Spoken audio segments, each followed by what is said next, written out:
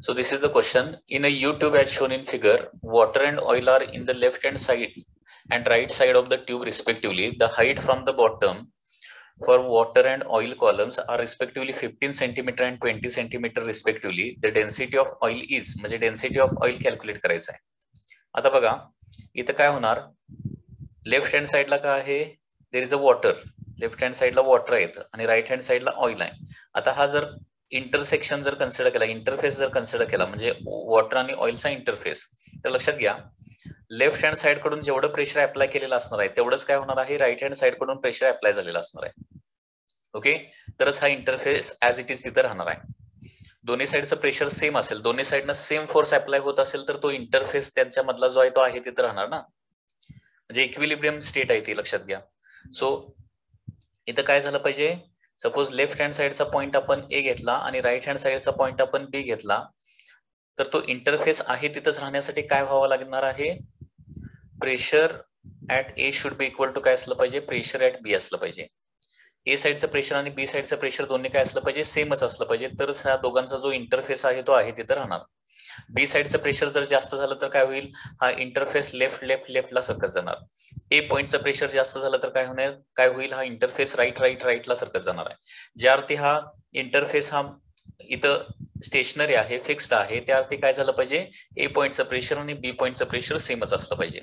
आता ए पॉईंटचं प्रेशर म्हणजे काय? वॉटर कॉलमचं प्रेशर प्लस वरून ऍक्ट होणारा ऍटमॉस्फेरिक प्रेशर बरोबर आहे ना? सो ए पॉईंटचं प्रेशर वॉटर कॉलमचं प्रेशर म्हणजे rho g into h plus P atmospheric बरोबर आहे ना? इथं रो जी एच मध्ये काय येणार आहे? Rho W G and H W येणार आहे. इज इक्वल टू आता बी पॉईंटचं प्रेशर म्हणजे काय येणार आहे? तर रो जी एच म्हणजे त्या ऑइल कॉलमचं प्रेशर प्लस काय असणार आहे? ऍटमॉस्फेरिक प्रेशर ऑइल कॉलमचं प्रेशर म्हणजे काय येणार आहे? Rho oil g into h oil plus atmospheric pressure. ठीक आहे? कारण हे ऑइल कॉलमचं प्रेशर पर प्लस वरून काय होणार आहे? ऍटमॉस्फेरिक प्रेशर ऍक्ट होत असणार आहे. आता दोन्ही साईडचं P atmospheric P atmospheric cancel होणार. त्याचबरोबर दोन्ही साईडचं G and G get cancel. And therefore rho W into H W is equal to काय येणार आहे? Rho oil into H oil येणार आहे. आता density of water it is given thousand and height of water column is fifteen centimetre is equal to density of oil is to be calculated and height of oil is given as 20 centimeter. So therefore density of oil is equal to 1000 into 15 divided by 20 okay? Here 0 and 0 get cancelled. okay? This is 50 50 into 15 so density of oil should be 15 into 50 means 750 kg per meter cube so that should be the answer for option number a that is answer is c answer is correct so this is the next next question sent by some student okay तर या क्वेश्चनमध्ये काय दिलंय बघा A vertical U-tube of uniform inner cross section contains mercury in both sides of its arm. A glycerin of density 1.3 gram per centimeter uh, cube, column of length 10 centimeter is introduced into the one arm. Okay, म्हणजे left hand साइडला इथं काय बघा glycerine आहे and the height of glycerin is 10 centimetre okay the oil of density 0.8 gram per centimeter cube is in is poured into the other arm until the upper surface of oil and glycerin are in the same horizontal level म्हणजे upper surface बघा left आर्ममध्ये काय केलेलं आहे? Glycerine pour केलेलं आहे. Right आर्ममध्ये काय केलेलं आहे? ऑइल पोअर केलेलं आहे.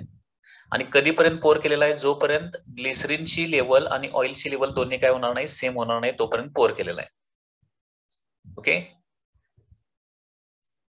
find the length of the oil column तर ऑइल कॉलमची हाईट जी आहे एच ची व्हॅल्यू जी आहे ती तुम्हाला कॅल्क्युलेट करायची आहे.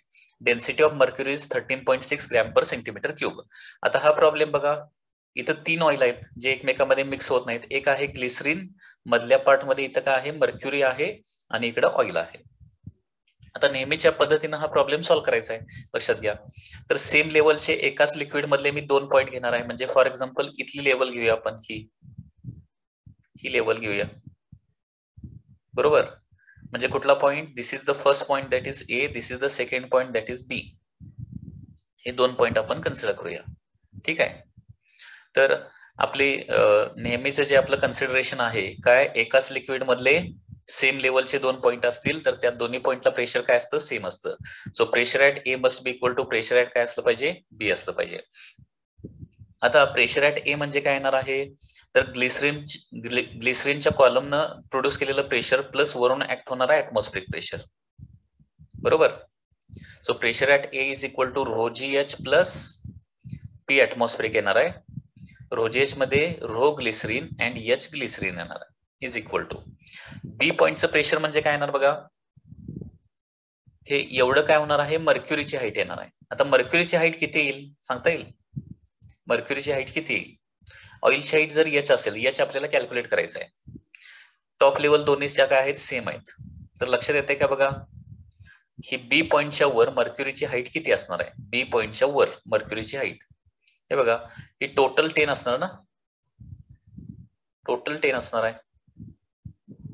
त्याच्यामुळे ही एवढी साईड काय होणार आहे? टेन मायनस एच येणार आहे. बरोबर ना?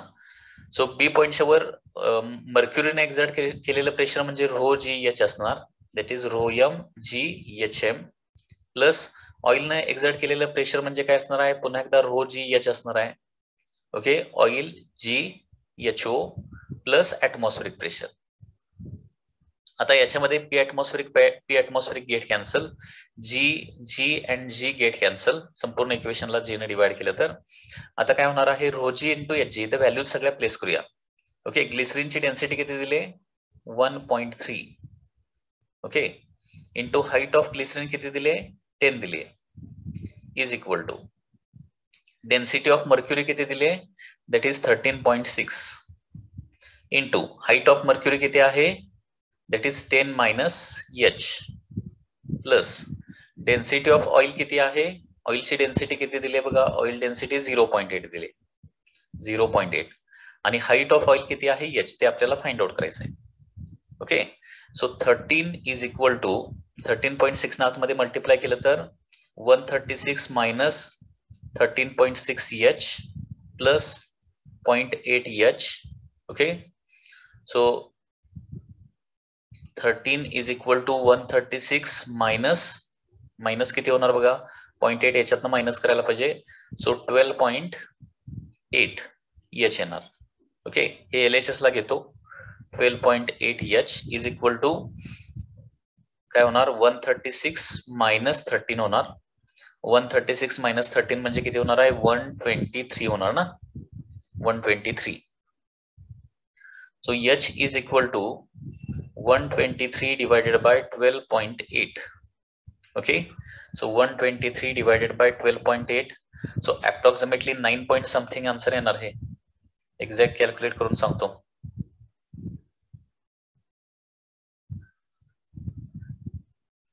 one twenty three divided by 12.8 so it is coming to be 9.6 centimeter आपण as it is युनिट ठेवलेलं आहे त्याच्यामुळे आज as it is final unit येणार आहे. ओके हा इथं आणखी एक इम्पॉर्टंट क्वेश्चन आहे. Three vessels of same base area are filled with liquids with equal volume then force on the base is maximum in okay आता इथं थ्री वेसेल्स मी ड्रॉ करतोय. So this is the first vessel okay after that this is the second vessel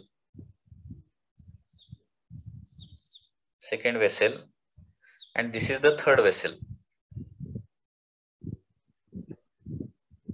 All have same base area. Okay याचा जेवढा area आहे तेवढाच याचा area आहे तेवढाच याचा एरिया आहे. आता बघा लास्ट टाइम आपण हायड्रोस्टॅटिक पॅराडॉक्समध्ये काय बघितलेलं होतं? तर लिक्विड जर सगळ्या वेसेल मधली लिक्विड लेवल काय असेल? सेम असेल.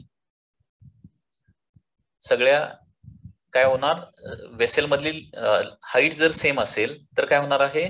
बेसवर ऍक्ट होणारा फोर्स किंवा बेसवर ऍक्ट होणारा प्रेशर काय असतं? सेमच असतं.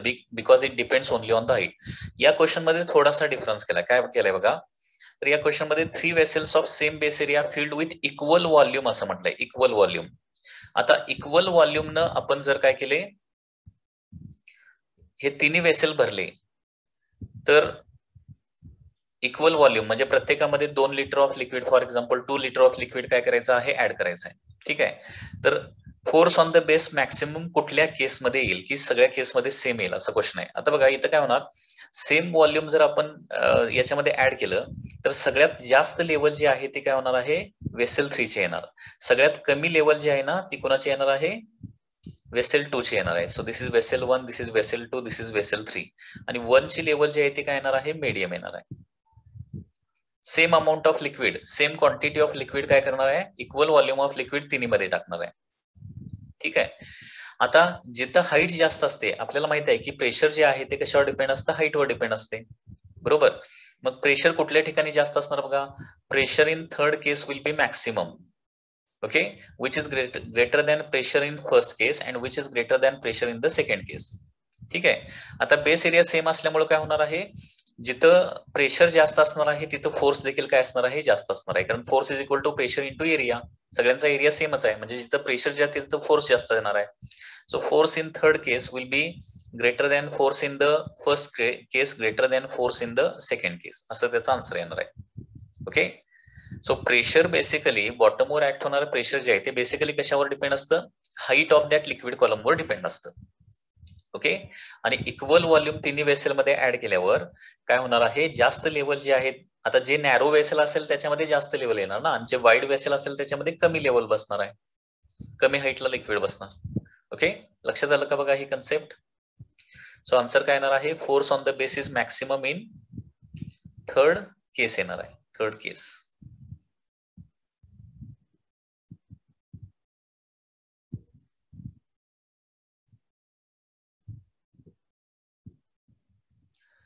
आता क्वेश्चन काय बघा? Equal volumes of three different liquids of different densities rho one greater than rho two greater than rho three are kept in three identical cylinders then force and pressure on the base is आता हे three identical cylinders म्हणजे सगळ्यांचा base area same आहे आणि सगळ्यांचं काय आहे? Shape देखील सेम आहे. आयडेंटिकल आहे. आणि याच्यामध्ये तीन लिक्विड्स डिफरंट लिक्विड इक्वल व्हॉल्यूमचे तीन लिक्विड आपल्याला काय करायचे आहेत? प्लेस करायचे आहेत. आता इक्वल व्हॉल्यूमचे तिन्ही लिक्विड आपण इथं प्लेस केले तर काय होणार बघा? इक्वल व्हॉल्यूम म्हणजे सगळ्यांची हाईट काय येणार आहे? सेम येणार. जेवढं फर्स्ट सिलेंडरमध्ये व्हॉल्यूम असणार तेवढंच सेकंड सिलेंडरमध्ये व्हॉल्यूम असणार आहे तेवढंच थर्ड सिलेंडरमध्ये व्हॉल्यूम असणार आहे. सगळ्यांच्या मध्ये इक्वल व्हॉल्यूम म्हणजे सगळ्या वेसेल मध्ये काय झाली? हाईट काय झाली? तेवढीच झाली. ठीक आहे? Then force and pressure on base कुठल्या केसमध्ये मॅक्सिमम असेल? आता प्रेशर ड्यू टू लिक्विड कॉलमचा फॉर्म्युला काय असतो? Rho G H plus atmospheric pressure ना? Plus atmospheric pressure rho G H आता तिन्ही केसेसमध्ये जी आणि ऍटमॉस्फेरिक प्रेशर तर सेमच असणार आहे. जिथं रो इंटू एच ची व्हॅल्यू मॅक्सिमम असणार तिथं प्रेशर मॅक्सिमम असणार ना? बरोबर? कारण प्रेशर जे आहे तसं जसं हाईटवर डिपेंड असतं आता हाईट तर सगळीकडे सेमच आहे तसं डेन्सिटीवर पण डिपेंड असणार आहे. लक्षात येत आहे मी काय सांगतोय? प्रेशर जे आहे ते दोन गोष्टीवर डिपेंड असतं. एक म्हणजे डेन्सिटी म्हणजे लिक्विड कुठला आहे? आणि दुसरी गोष्ट म्हणजे हाईट काय आहे? म्हणजे जिथं रो इंटू एच जास्त असेल तिथं प्रेशर नेहमी जास्त असतं. लक्षात घ्या. Pressure is directly proportion to rho into H आता तिन्ही वेसेल मध्ये हाईट तेवढीच येणार ना? कारण इक्वल व्हॉल्यूम इथं जेवढं व्हॉल्यूम आहे तेवढंच इथं व्हॉल्यूम यायला पाहिजे तेवढंच इथं व्हॉल्यूम यायला पाहिजे. व्हॉल्यूम सेम दिसते का? ठीक आहे. आता व्हॉल्यूम सेम म्हटल्यानंतर हाईट सगळीकडे सेम येणार आहे कारण आयडेंटिकल वेसल आहेत. हाईट सगळीकडे सेम परंतु डेन्सिटी मात्र सेम नाहीये. सपोज इथली डेन्सिटी रो वन आहे इथली डेन्सिटी रो टू आहे आणि इथली डेन्सिटी काय आहे? रो थ्री आहे. तर काय होणार आहे? जिथं डेन्सिटी जास्त तिथं प्रेशर जास्त असणार आहे. Okay so this is number one this is number two आणि दिस इज नंबर थ्री असेल. तर pressure in first case will be more than pressure in the second case is the more than pressure in the third case similarly जिथं pressure जास्त आहे तिथं काय होणार आहे? Force is equal to pressure into area येणार. आता area तिन्ही वेसेलचा काय आहे? सेमच आहे. म्हणजे जिथं प्रेशर जास्त तिथं काय येणार आहे? फोर्स जास्त येणार आहे. So F one is greater than F two is greater than काय येणार आहे? एफ थ्री येणार आहे. हे काही इम्पॉर्टंट पॉइंट्स आहेत रिलेटेड टू प्रेशर हे तुम्हाला लक्षात ठेवावे लागतील. Any doubt in this case आता आणखी एक थोडस चेंज करून सिमिलर क्वेश्चन आहे बघा. हा क्वेश्चन एक. लक्षात येत आहे आता equal volume of three different liquids ऐवजी काय दिलंय? Equal mass of three different liquids equal mass change काय केलंय बघा? वन वर्ड फक्त याच्यामध्ये काय केलेलं आहे? चेंज केलेला आहे. Okay equal mass of three different liquids of densities rho one greater than rho two greater than rho three are kept in three identical cylinders then force and pressure on the base is आता काय होणार बघा? म्हणजे थोडंसं change केलं की काय होतं? एक वर्ड चेंज केला की आन्सर कसं चेंज होतंय बघा. दोन्ही क्वेश्चन सेम टू सेम आहेत फक्त एका क्वेश्चनमध्ये आपण चेंज केलेला आहे एका वर्डमध्ये चेंज केलेला आहे सर ओके तर इथं आता कसं येणार बघा?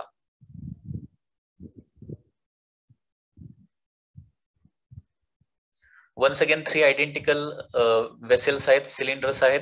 Okay cylinder one cylinder two cylinder three cylinder वनमध्ये rho one density cylinder two मध्ये रोटो डेन्सिटी आणि सिलेंडर थ्री मध्ये रोत्री डेन्सिटीचं लिक्विड भरलेलं आहे. आता इक्वल मास दिलेला आहे इक्वल मास आता इक्वल मास असेल तर बघा density is equal to mass divided by volume ना? मग मास सगळीकडे सेम आहे. इक्वल मास म्हणजे मास सेम आहे. तर जिथं मास जर सेम असेल तर डेन्सिटी आणि व्हॉल्यूम काय असणार आहे? इनव्हर्सली प्रोपोर्शनल असणार आहे. Density is inversely proportional to volume किंवा volume is inversely proportional to density येणार ना? बरोबर? किंवा डेन्सिटी इंटू व्हॉल्यूम काय येणार आहे? तिन्ही केसमध्ये सेम येणार. ओके मास जर सेम असेल किंवा मासचा इथं फॉर्म्युला काय येणार बघा? Mass is equal to density into volume density into volume म्हणजे काय होणार आहे? लक्षात घ्या व्हॉल्यूम म्हणजे area of cross section into height येणार ना? व्हॉल्यूम ऑफ सिलेंडरचा फॉर्म्युला काय असतो? Area of cross section into height म्हणजे काय येणार आहे? Mass is equal to rho into A into H ठीक आहे? आता इथं जेवढं मास आहे तेवढंच इथं मास आहे तेवढंच इथं मास आहे. बरोबर? त्याच्यामुळं काय होणार आहे? रो ए एच हे काय येणार आहे? सेम येणार आहे. आता pressure in first case is equal to काय येणार आहे? Rho G H plus P atmospheric येणार आहे. Okay that is rho one H one plus P atmospheric pressure in second case म्हणजे काय होणार आहे? Rho two G H two plus P atmospheric येणार आहे. आणि pressure in third case is equal to rho three G H three plus P atmospheric येणार आहे. बरोबर आहे ना? आता तिन्ही केसमध्ये रो इंटू तिन्ही केसमध्ये मास सेम आहे म्हटल्यावर तर तिन्ही केसमध्ये रो ए एच सेम येणार आहे. म्हणजे रो इंटू एच तिन्ही केसेसमध्ये काय येणार आहे? सेम येणार आहे. म्हणजे rho one H one is equal to काय येणार आहे? Rho two H two is equal to काय येणार आहे? Rho three H H three येणार ना? Rho one H one is equal to rho two H two is equal to काय येणार आहे? रो थ्री एच थ्री येणार. म्हणजेच काय येणार आहे? Rho one G H one is equal to काय येणार आहे? Rho two G H two येणार आहे. इज इक्वल टू काय येणार आहे? Rho three G H three येणार आहे. आणि या तिन्ही टर्म सेम झाल्यामुळे आता मात्र काय होणार आहे? इथं लेवल डिफरंट येणार आहे. म्हणजे जिथं लक्षात घ्या volume is inversely proportional to density आहे. त्याच्यामुळे जिथं डेन्सिटी जास्त आहे सगळ्यात जास्त रोवन आहे ना तिथं व्हॉल्यूम सगळ्यात कमी म्हणजे इथं सगळ्यात लेवल कमी येणार. त्याच्यापेक्षा जास्त लेवल इथं येणार आहे. त्याच्यापेक्षा जास्त लेवल काय येणार आहे? इथं येणार आहे. लेवल जरी डिफरंट असली इथं काय आहे? लेवल कमी आहे परंतु डेन्सिटी काय आहे? जास्त आहे. आणि रो इंटू एच प्रोडक्ट मात्र काय आहे? सेमच येते सगळीकडे. मास सेम असल्यामुळं. त्याच्यामुळे तिन्ही केसेसमध्ये प्रेशर काय येणार आहे? सेमच येणार आहे.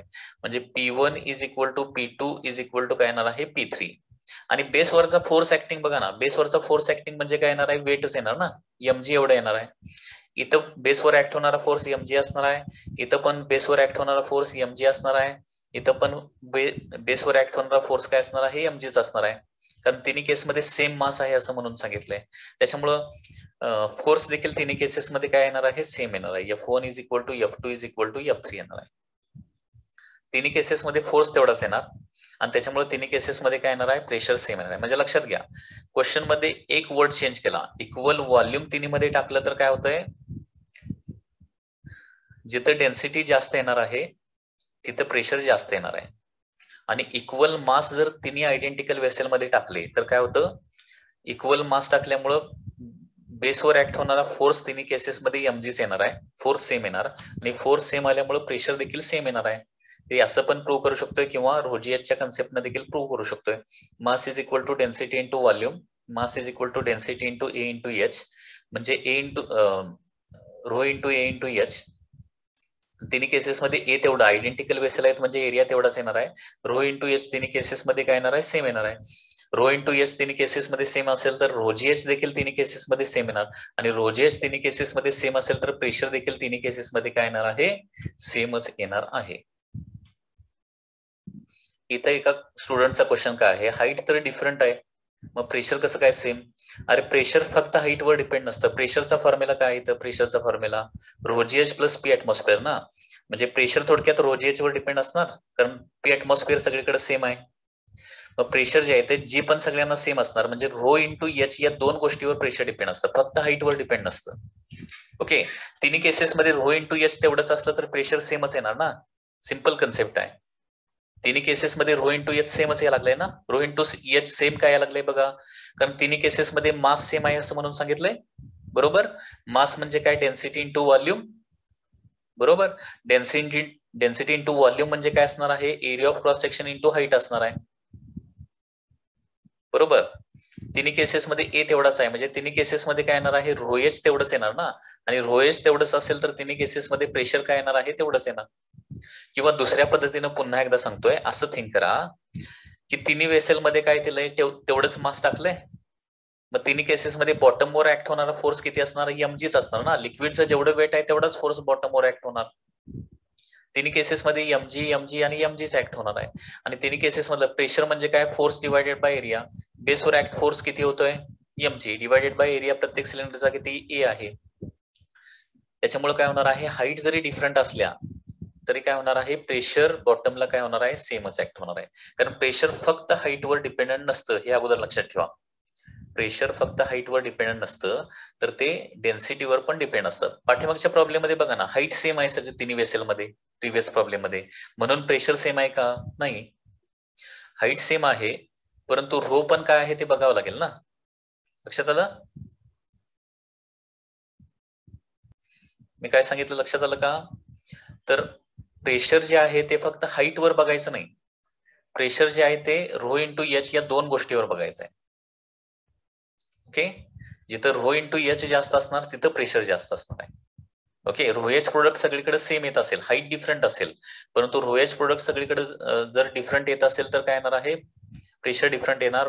रोएच प्रोडक्ट सेम येत असेल तर प्रेशर काय येणार आहे? सेम येणार आहे.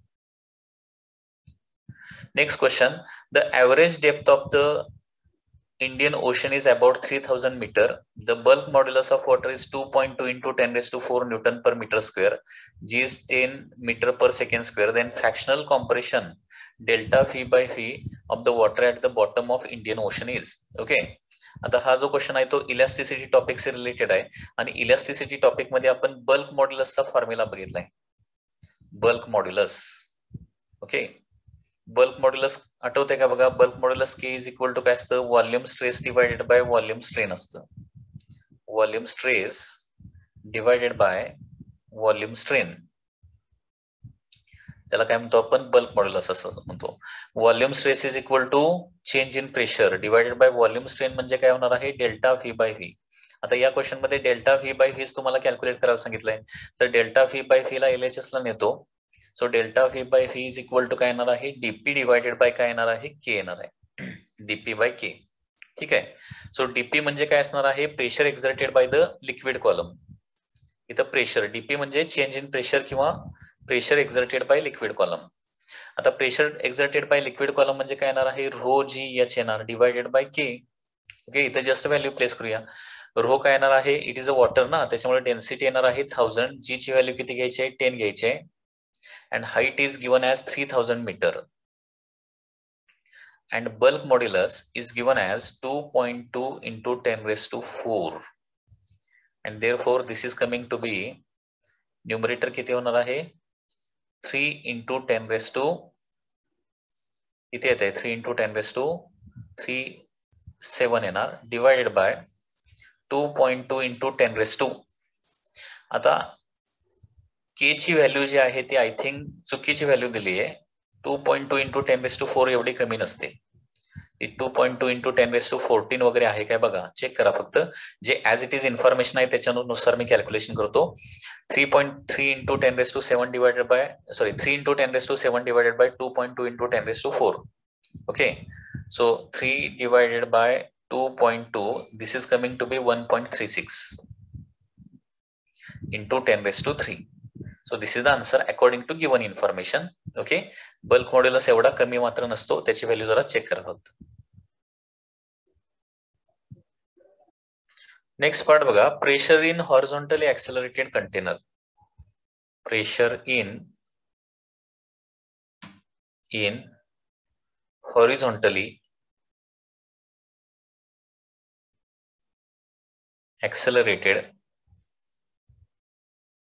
container. Pressure in horizontally accelerated container okay suppose there is a container like this which is filled with a liquid okay so these are the points a b c and the d आणि याच्या अगोदर काय केलेलं आहे आपण याच्यामधलं different पॉईंटचं pressure आपण फाइंड आउट केलेलं आहे म्हणजे ए पॉईंटचं प्रेशर किती असतं म्हणजे ऍटमॉस्फेरिक प्रेशर सोडून त्याच्या वरचं प्रेशर फक्त आता मी फक्त सांगणार आहे. ओके ठीक आहे? ए पॉईंटचं प्रेशर किती असणार आहे? झिरो असणार. ओके ऍटमॉस्फेरिक प्रेशर सोडून म्हणतो गेज प्रेशर किती असणार? झिरो बी पॉईंटचं काय असणार? झिरो सी पॉईंटचं काय असणार आहे? तर सपोज ही हाईट एच असेल तर सी पॉईंटचं प्रेशर किती येणार आहे? रोजी एच येणार ना? आणि डी पॉईंटचं प्रेशर देखील काय येणार? रोजी एच येणार आहे. सी आणि डी या लेवलचे सगळे पॉईंट किंवा सेंटरला प्रेशर किती असतं? Rho G H by two सेंटरला प्रेशर असणार आहे. पण कधी हा रेस्टमध्ये असेल तर. आता याला हॉरिझॉन्टली जर ऍक्सेलरेट केला तर इथं काय होणार आहे? या लिक्विडवर एकाच वेळी दोन ऍक्सेलरेशन ऍक्ट होणार आहेत.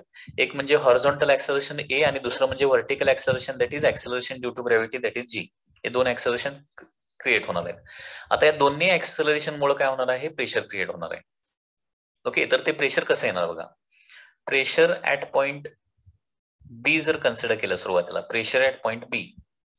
हा जो बी पॉइंट आहे ओके या ठिकाणी प्रेशर किती ऍक्ट होणार आहे? झिरो ऍक्ट होणार आहे. म्हणजे एक्सेप्ट ऍटमॉस्फेरिक प्रेशर आपण बघायला एक्सेप्ट ऍटमॉस्फेरिक प्रेशर सोडून त्याच्या वरचं. म्हणजे सगळ्या ठिकाणी काय होणार आहे? प्लस पी ऍटमॉस्फिअर पण येणारच आहे लक्षात घ्या.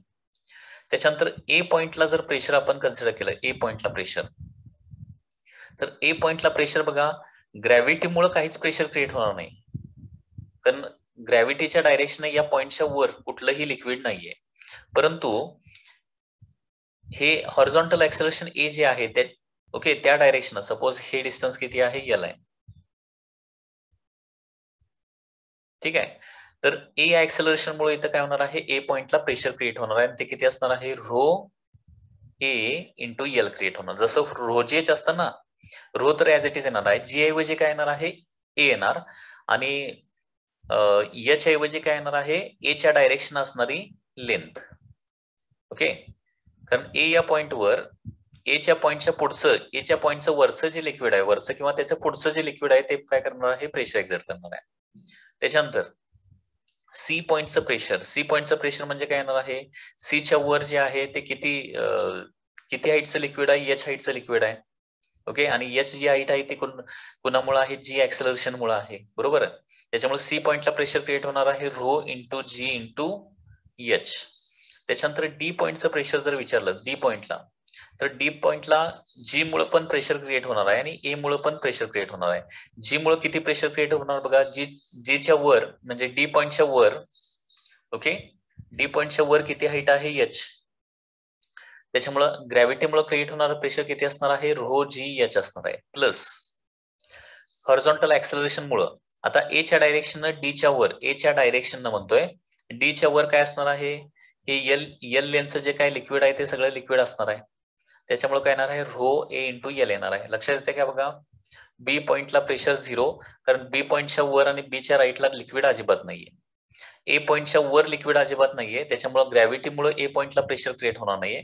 परंतु एच्या राईटला ओके एल एवढं लेन्सचं लिक्विड आहे. त्याच्यामुळं तिथं प्रेशर किती क्रिएट होणार आहे? रो ए एल एवढं. ओके? सी पॉइंटला काय होणार आहे? सी पॉइंटला सी पॉइंटच्या वर लिक्विड आहे परंतु सी पॉइंटच्या राईट हँड साईडला काही लिक्विड नाहीये. त्याच्यामुळे सी पॉइंटच्या वरचं जे लिक्विड आहे त्याच्यामुळे फक्त प्रेशर क्रिएट होणार आहे that is rho G H आणि डी पॉइंटला काय होणार आहे? डी पॉइंटच्या वर पण लिक्विड आहे आणि डी पॉइंटच्या राईट हँड साईडला पण लिक्विड आहे. ओके? त्याच्यामुळे डी पॉइंटला प्रेशर क्रिएट होणार आहे. ग्रॅव्हिटीनं क्रिएट केलेलं प्रेशर प्लस स्केलर क्वांटिटी असल्यामुळे डायरेक्ट ऍडिशन होणार ना? प्लस हॉरिझॉन्टल ऍक्सलरेशन क्रिएट केलेलं pressure that is rho G H plus rho L लक्षात येते आता सपोज इथे विचारलं की हा सेंटर पॉइंट सपोज काय आहे? पी आहे. ओके तर या पॉइंटला प्रेशर किती असणार आहे? Pressure at point P is equal to ग्रॅव्हिटीमुळं ग्रॅव्हिटीच्या ग्रॅव्हिटीमुळं जे प्रेशर क्रिएट eh, होणार आहे ते किती हाईटमुळे क्रिएट होणार? एच बाय टू आणि हॉरिझॉन्टल ऍक्सलरेशनमुळे जे प्रेशर क्रिएट होणार आहे ते किती हाईटमुळे क्रिएट होणार आहे एल बाय टू म्हणजे rho G H by two plus rho A L by two this is the total pressure at the mid point or this point P okay in the vessel लक्षात आलं का बघा? या पद्धतीनं horizontally ऍक्सलरेटेड कंटेनरमध्ये pressure असतं. म्हणजे हॉरिझॉन्टल ऍक्सलरेशन एखाद्या कंटेनरला दिलं तर तिथं काय होणार आहे? ग्रॅव्हिटीमुळे पण प्रेशर क्रिएट होणार आहे आणि त्या हॉर्झॉन्टल ऍक्सिलरेशनमुळे देखील प्रेशर क्रिएट होणार आहे. हे सगळ्या ज्या व्हॅल्यू आहेत त्या in addition to atmospheric pressure लिहिलेले आहेत. म्हणजे सगळ्या ठिकाणी परत काय आणखी काय ऍड होणार आहे? ऍटमॉस्फेरिक प्रेशर देखील ऍड होणार आहे. ओके या फक्त गेज प्रेशरच्या व्हॅल्यूज आपण लिहिल्या आहेत. गेज प्रेशर म्हणजे काय? प्रेशर अबव ऍटमॉस्फिअर फक्त लिहिलेलं आहे आपण. लक्षात येते any doubt in this case याचा एक एक्झाम्पल बघूया म्हणजे तुम्हाला आणखी क्लिअर होईल.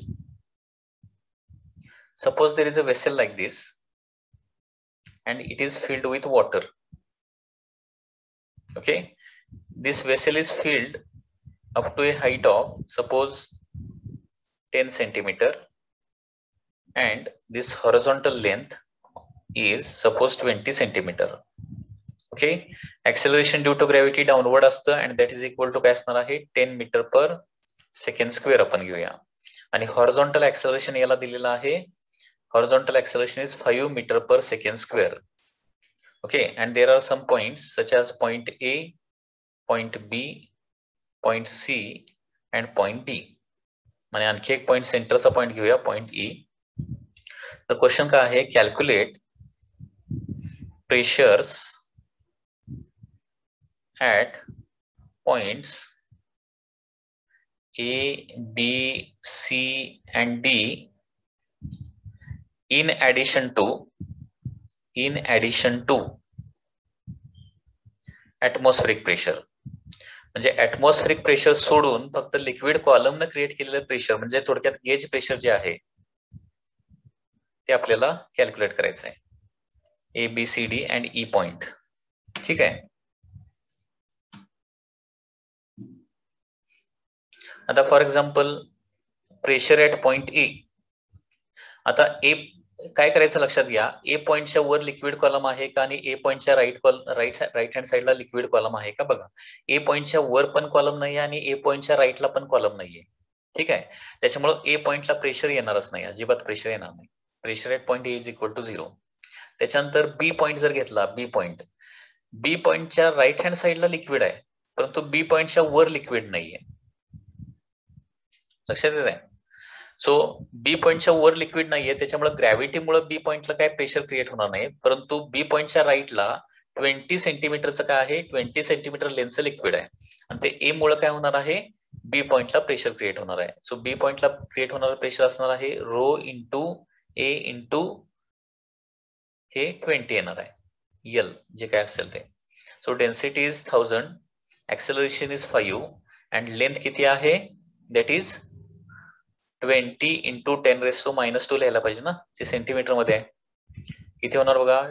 ट्वेंटी ट्वेंटी इंटू फाईव्ह म्हणजे hundred hundred into ten raise two minus two cancel होणार आणि थाउजंड काय येणार आहे? न्यूटन पर मीटर स्क्वेअर येणार आहे. Pressure at point B okay त्याच पद्धतीनं. आपण पॉइंट सी जर कन्सिडर केला पॉइंट सी ओके तर सी पॉइंटचं प्रेशर आता सी या पॉइंटला काय होणार आहे? सी पॉइंटच्या वर पण लिक्विड कॉलम आहे टेन सेंटीमीटरचा आणि सी पॉइंटच्या राईट हँड साईडला पण लिक्विड कॉलम आहे दॅट इज ऑफ ट्वेंटी सेंटीमीटरचा त्याच्यामुळे काय होणार? इथं ग्रॅव्हिटीमुळे पण प्रेशर क्रिएट होणार आणि ऍक्सेलरेशनमुळे पण प्रेशर क्रिएट होणार आहे. म्हणजे रो जी एच प्लन येणार आहे प्लस काय येणार आहे?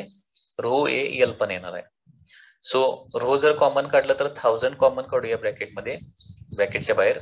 Rho and rho that is thousand G ची व्हॅल्यू टेन सी पॉइंटच्या वर ग्रॅव्हिटीच्या अपोजिट डायरेक्शन किती हाईट आहे बघा? That is ten centimetre that is ten into ten base two minus two plus horizontal acceleration किती आहे? दॅट इज फाईव्ह आहे. आणि सी पॉइंटच्या राईट हँड साईडला किती कॉलम आहे बघा? Twenty centimetre twenty into ten raise two minus two so pressure at point C होणार आहे थाउजंड इन ब्रॅकेट याची व्हॅल्यू किती येणार आहे? वन येणार. टेन इंटू टेन म्हणजे hundred hundred into ten raise two minus two म्हणजे one plus twenty into five म्हणजे हंड्रेड आणि hundred into ten raise two minus two म्हणजे वनच येणार आहे. तर ते प्रेशर किती येणार आहे? Two thousand newton per metre square येणार आहे. त्याच्यानंतर पॉइंट डी आपण जर कन्सिडर केला पॉइंट डी तर डी पॉइंटला लक्षात घ्या. पॉइंट डी डी पॉइंटला डी पॉइंटच्या वर लिक्विड कॉलम आहे परंतु डी पॉइंटच्या राईट हँड साईडला लिक्विड कॉलम अजिबात नाहीये. त्याच्यामुळं डी पॉइंटच्या वरचा जो लिक्विड कॉलम आहे त्यांनाच फक्त प्रेशर क्रिएट होणार आहे. That is rho G H फक्त. सो थाउजंड इंटू जी ची व्हॅल्यू टेन आणि हाईट किती आहे? That is ten centimetre ten into ten base to minus two त्याच्यामुळे हे किती येणार आहे?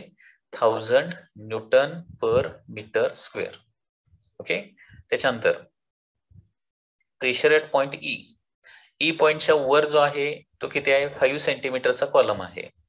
आणि ई पॉइंटच्या राईट हँड साईडला किती आहे? टेन सेंटीमीटर चा कॉलम आहे लिक्विड ओके तर त्याच्यामुळे इथं रोजी एच पण येणार आणि रोये एल पण येणार आहे.